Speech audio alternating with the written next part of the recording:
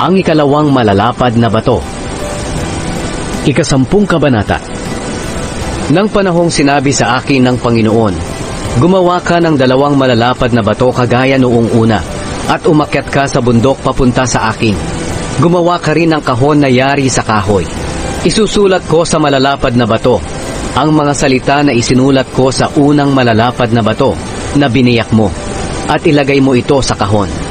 Kaya gumawa ako ng kahon na yari sa akasya at ng dalawang malalapad na bato, gaya noong una, at umakyat sa bundok dala ang dalawang malalapad na bato. Isinulat ng Panginoon sa dalawang malalapad na batong ito ang isinulat niya noong una, ang sampung utos na ibinigay niya sa inyo, nang nagsalita siya mula sa apoy, noong araw na nagtipon kayo sa bundok. Nang maibigay na ito ng Panginoon sa akin, bumaba ako sa bundok at inilagay ito sa kahong ginawa ko, ayon sa iniutos ng Panginoon, at hanggang ngayon naroon pa ito. Naglakbay ang mga Israelita mula sa balon ng mga taga-Jaakan papunta sa Mosera. Doon namatay si Aaron at doon din inilibing.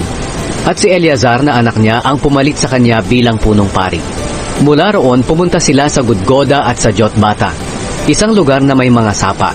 Nang panahong iyon pinili ng Panginoon ang lahi ni Levi para sila ang magbuhat ng kahon ng kasunduan ng Panginoon para maglingkod sa kanyang presensya at para magbasbas sa mga tao sa kanyang pangalan. At hanggang ngayon ganito ang gawain nila.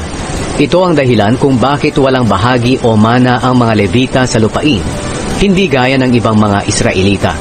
Ang Panginoon ang bahagi nila ayon sa sinabi ng Panginoon na inyong Diyos. Sinabi pa ni Moises, Gaya ng ginawa ko noong una, nanatili ako sa bundok sa loob ng apat na pung araw at apat na pung gabi. At muli akong pinakinggan ng Panginoon at hindi niya kayo pinatay. Sinabi niya sa akin, Lumakad ka at pamunuan ang mga Israelita sa pagpasok at sa pag-angkin sa lupaing ipinangako kong ibibigay sa inyo at sa inyong mga ninuno. Igalang at sundin ang Panginoon.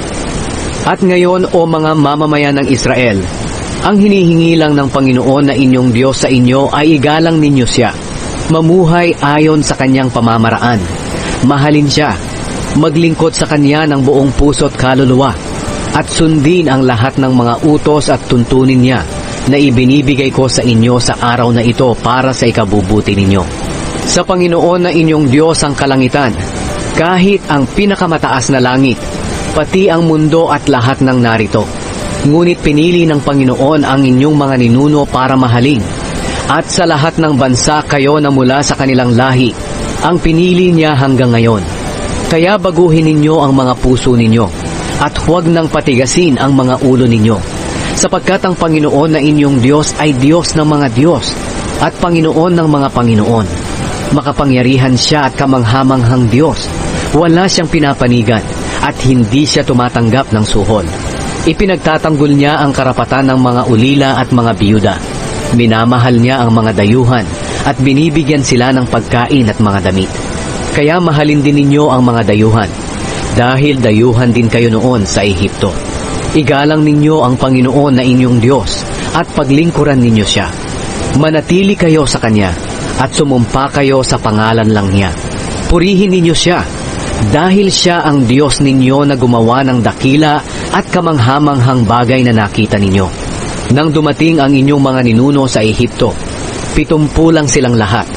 Pero ngayon, pinadami na kayo ng Panginoon na inyong Diyos na katulad ng mga bituin sa langit.